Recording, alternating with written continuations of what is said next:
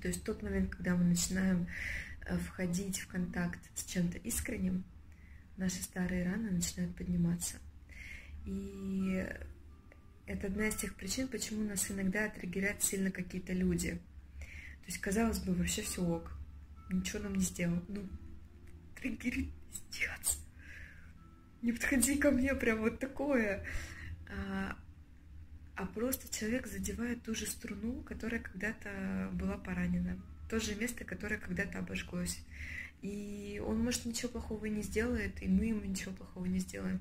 Но этой боли надо дать время выйти. И поэтому э, после дружеских отношений, партнерских, э, личных, э, каких-либо еще, если была какая-то боль, это нормально, когда вы входите в новые отношения, и в начале там начинается боль на пустом месте.